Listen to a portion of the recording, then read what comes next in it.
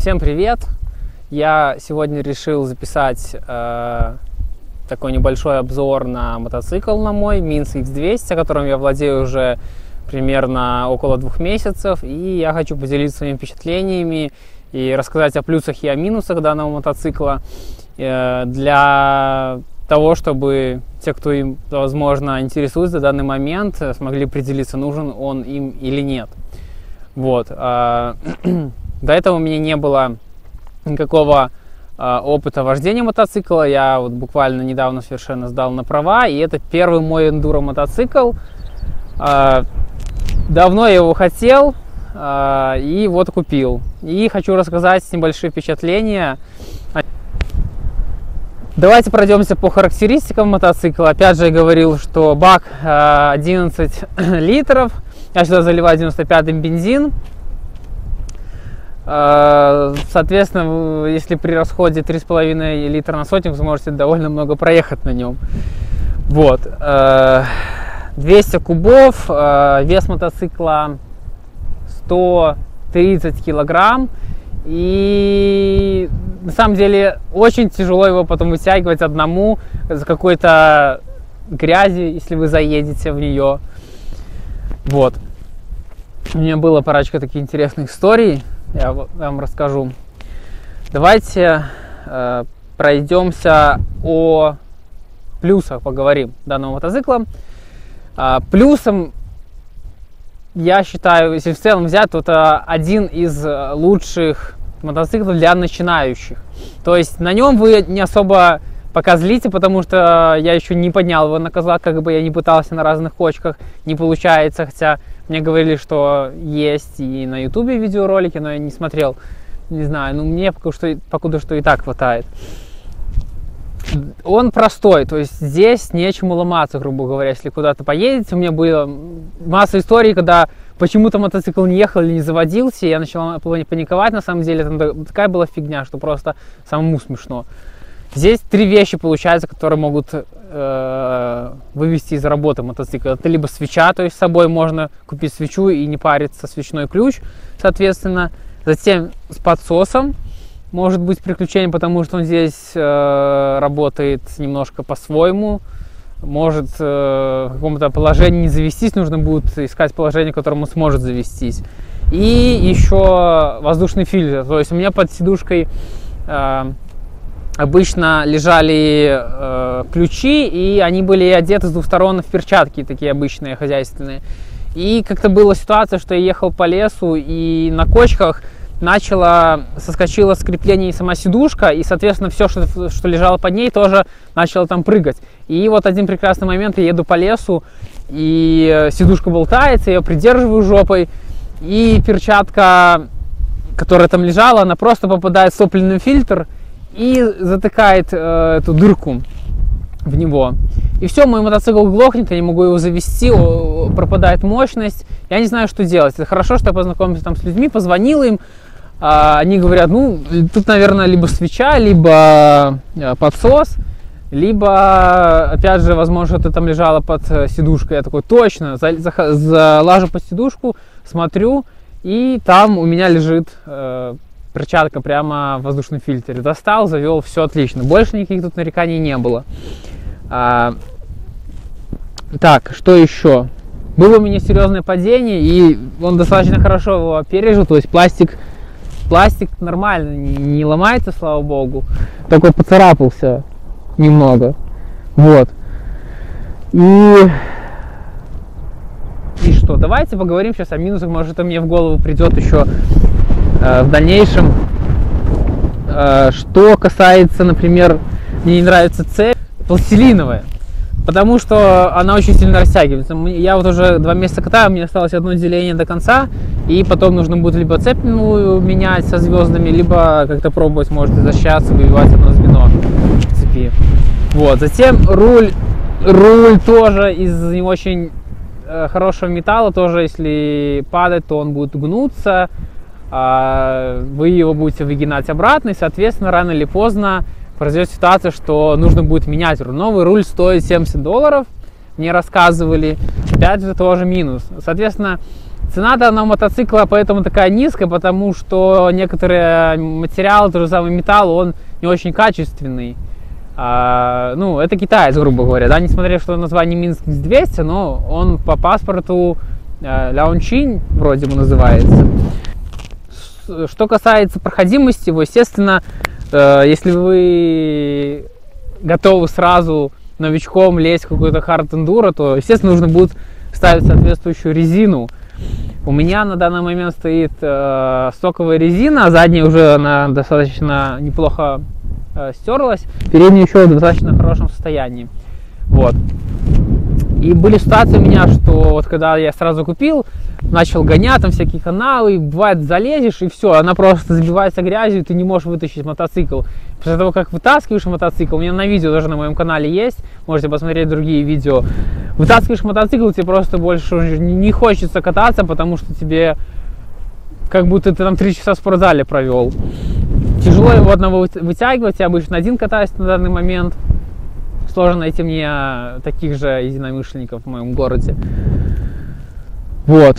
Э, цепь, опять же, я сначала ее вообще забыл смазывать, когда только купил мотоцикл. Она растягивалась буквально после каждого, после каждой покатушки очень сильно. То есть нужно, если э, хотите нормальную цепь, цепь, то, ну, я думаю, в районе 100, 100 долларов она будет стоить. Сломал я уже себе в один день два зеркала. Первое зеркало сломано было вот это вот, когда я поехал э, когда я поехал через канаву, я переезжал и упал. Первое зеркало вот этого сломалось. Это на видео тоже есть э, в эпизоде. Лучше бы я... Э, эпизод называется «Упал, застрял в канаве», да. И потом вот это вот зеркало я сломал, когда уже приехал домой. Вечером поставил его на обычную такую вот землю. И он простоял там минут пять. Я пошел за ключами от гаража, прихожу, а подножка просто продырявила землю, и он упал, соответственно, сломал еще одно зеркало. Только оно сломалось вместе с металлом, и мне пришлось тут химичить, чтобы их поставить. Сейчас я заказал себе новые маленькие, но они еще не пришли. Вот. Э, стоит у меня здесь ксенон. Давайте я вам, наверное, покажу поближе, что я вам... Вот цепь, я потом купил смазку на нее. Вот, она вся, у меня здесь все в белых пятнах, потому что смазка такая, она потом превращается ну, в нормальный цвет. Но изначально она просто, она просто белая. Вот, опять же, у меня начал буквально через полтора месяца а, замок сидушки, он болтаться начал, я там немножко похимичил, сейчас сидушка нормально держится. А, я вот чтобы в дальнейшем не повторялись такие ситуации с э, подножкой, я приварил сюда звездочку, ну, я ее обрезал, получилось круг, приварил. И сейчас уже можно спокойно ставить на грунт. Вот здесь, здесь задние, задние эти подножки для пассажира, что тоже немаловажно. Передние переключение передач. Это у нас идет э, с резервного бака на основное переключение. Так, это задние ручки, держаться пассажиром. Поворотники, вот здесь поворотник до меня еще были сломали, но мне влом его менять, поэтому я просто его так вот на, на Саморезы поставил. Ну, пока что держится. Не, есть новые, если что, поставил. Вот, кстати, царапины от моего падения. Так. Это выхлопная труба. Это у нас тоже подножка.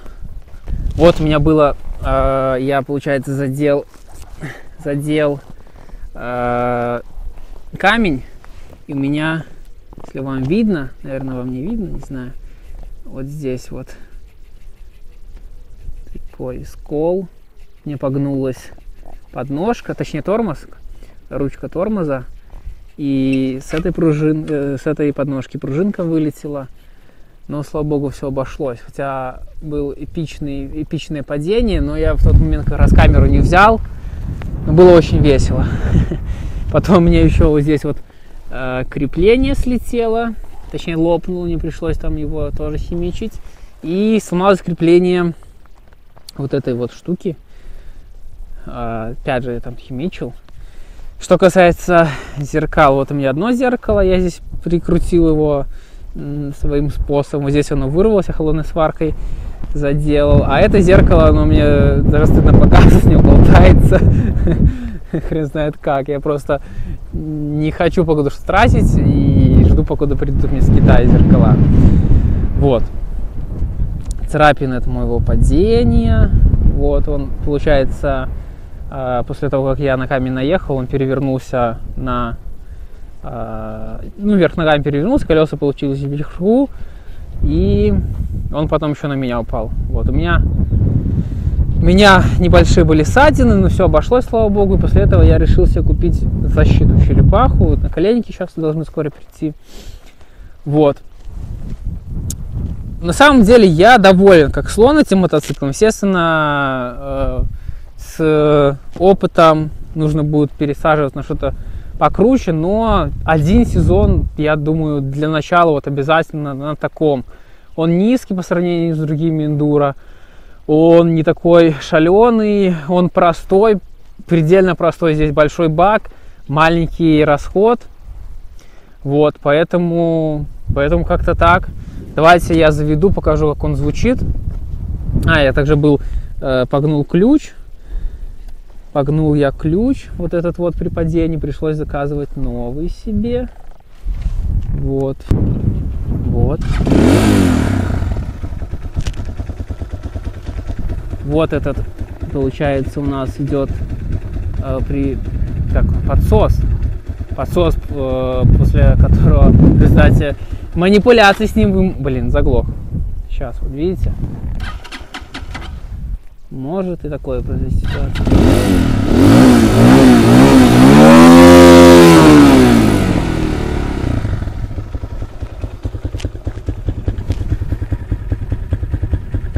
Нормальный такой звук, мне нравится, особенно когда вы на нем едете и он даже стреляет бывает иногда. Вы когда на нем едете, такой приятный, приятный звук. Я не знаю, может я что-то еще не рассказал вам о нем. Я еще хочу снять со стороны, как он едет, не только с GoPro с моей камеры. Вот.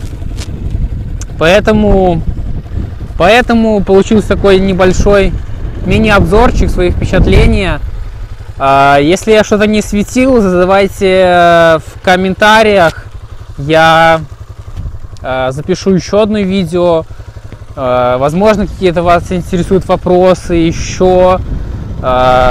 Пишите все в комментарии, ставьте лайки. Если что-то вам не понравилось, пишите. Опять же, я буду справляться. Подписывайтесь на канал. Вот, как-то так. Все, всем пока.